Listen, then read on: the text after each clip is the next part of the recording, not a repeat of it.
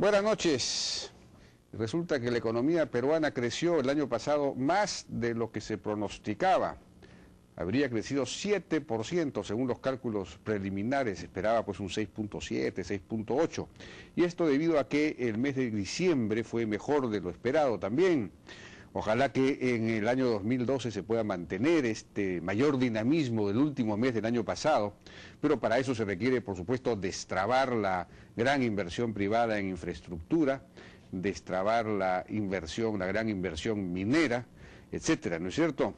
Bueno, pero otro dato interesante, importante del año pasado ha sido que las exportaciones han llegado a los 45 mil, casi 46 mil millones de dólares, un récord absoluto, un crecimiento del 28%, y particularmente las no tradicionales han crecido eh, en un 32%, han superado la barrera de los 10 mil millones de dólares.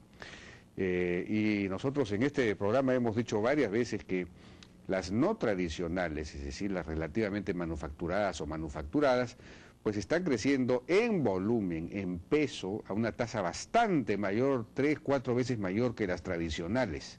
O sea que nos enrumbamos en el largo plazo hacia una estructura cada vez menos primaria y más secundaria de nuestras exportaciones, contrariamente al mito que hay del modelo primario exportador y contrariamente al ataque a la minería y todo lo demás.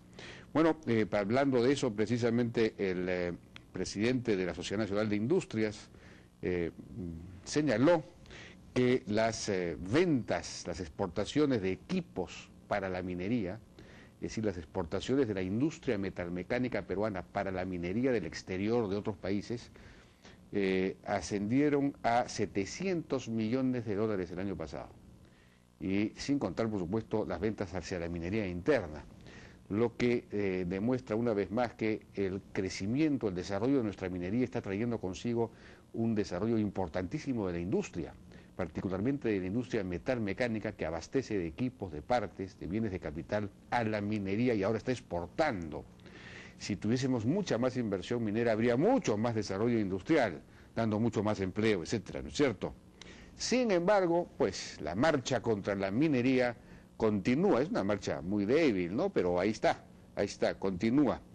Hoy día eh, Fernando Respigliosi en su blog en espacio, en espacio compartido señala lo siguiente, los participantes de la marcha por el agua tuvieron una grata sorpresa el lunes 6. El cielo se abrió y descargó una torrencial lluvia que los hubiera empapado si en realidad hubieran venido caminando, como algunos ingenuos creen. No, los marchantes vienen en ómnibus y automóviles y se bajan para desfilar en los pueblos que atraviesan.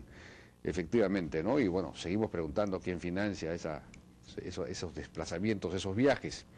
Pero eh, el hecho es que la minería consume muy poca agua, un porcentaje muy pequeño en Cajamarca, por ejemplo, no llega ni al 2% del agua disponible de Cajamarca, que es una, una, región muy minera, ¿no es cierto?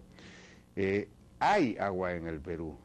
El problema es que el agua no se almacena, no se guarda y entonces se pierde. El río Rímac, por ejemplo, en esta época de verano, de verano para la costa, pues tiene un aforo promedio de 130 metros cúbicos y de esos por lo menos 70 metros se pierden en el mar, es decir, más de la mitad se pierde en el mar, porque no hemos construido, no hemos forestado y no hemos construido los reservorios necesarios en las eh, cabeceras de cuenca, en las partes altas o intermedias de las cuencas, para almacenar, retener el agua. Tampoco hemos construido zanjas de infiltración y todo lo demás. Y eh, no lo hemos hecho en parte porque eso cuesta. De la minería, precisamente para poder eh, construir esos reservorios. De hecho, la minería está construyendo reservorios para sus propios fines y para mejorar la calidad ambiental de las zonas que opera. La propia Yanacocha construyó el reservorio de San José y en la zona de Conga hay prevista la construcción de cuatro reservorios que aumentarán la cantidad de agua a, lo largo de todo el año. Las lagunas actuales no pueden abastecer de agua, no, no surten de agua durante la época de sequía. Eh, y en fin, la calidad del agua también mejorará. Y entonces, pues la minería sirve para eso. Hacer una marcha contra la minería es pues absurdo. Bueno, y eh, por último señalar que la Asamblea Nacional de Gobiernos Regionales que eligió a César Villanueva de San Martín, un presidente moderado, ¿no es cierto?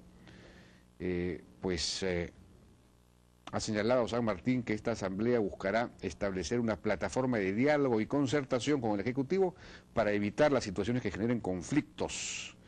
El objetivo será adelantarse a cualquier problema a fin de evitar su agudización, dice San Martín. Recurriremos al diálogo para resolver cualquier diferencia.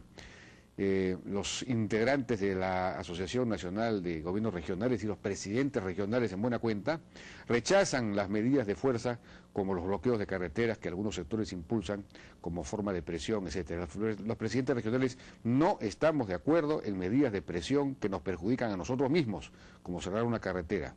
Eso no perjudica a Lima, solo a la región donde se produce, donde se produce. Nos parece realmente extraordinaria, una reacción muy interesante de la Asamblea de Presidentes Regionales, de Gobiernos Regionales, que se haya decidido, digamos, eh, establecer esta plataforma, este mecanismo de diálogo para adelantarse a los conflictos y eh, de, alguna manera, pues, eh, contribuir de esa manera a la paz social y a la inversión en el país. Una muy buena noticia. Bien, nosotros vamos a ir a una pausa y vamos a regresar ahora con...